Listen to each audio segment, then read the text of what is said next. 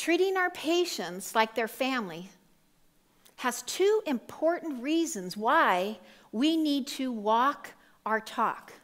The first one's pretty obvious. It's obvious because we know that if we are treating our patients as if they're our family, we are going to give them exceptional care, right? That's how we treat our family. And that's, we would give them the health. They're going to be healthy. They're going to be great. They're going to be taken care of.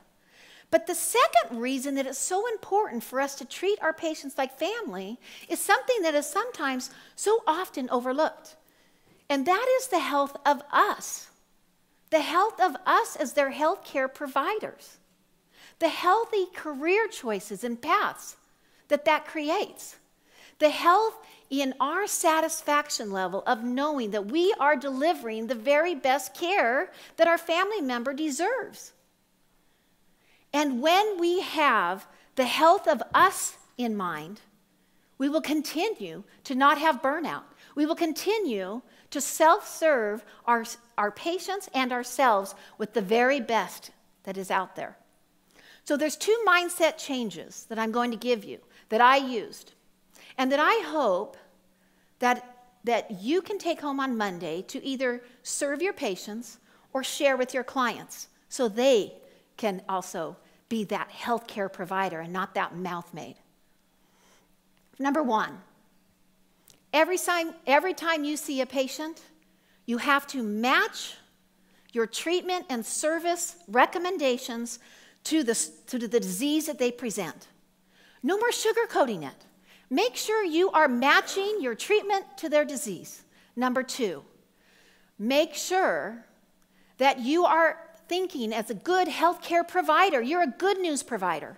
You're not having bad news. You have the answers, right? That's why we go to CE credits. That's why we take all this time and we have all this, this um, investment. It's so that we have the right answers, the best answers out there. You are a good news provider.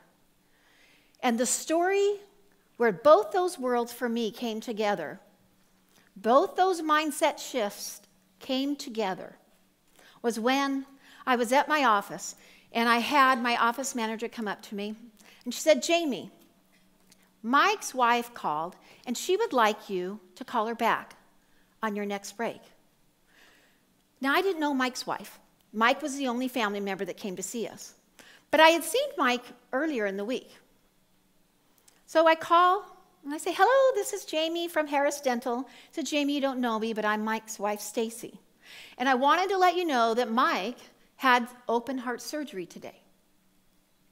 The doctors came to the waiting room and told me that he was recovering fine.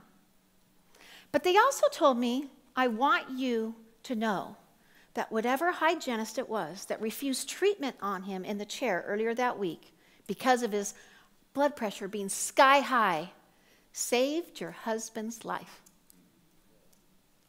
And Jamie, something else you may not know about me is that I am a stay home mom of six young children. And if anything would have happened to Mike, I do not know what me and my six children would have done. I do not have a college degree, I do not have a career. So thank you for saving Mike's life, but thank you for saving the future and the, for me and my family. That is how we save lives, one mouth at a time.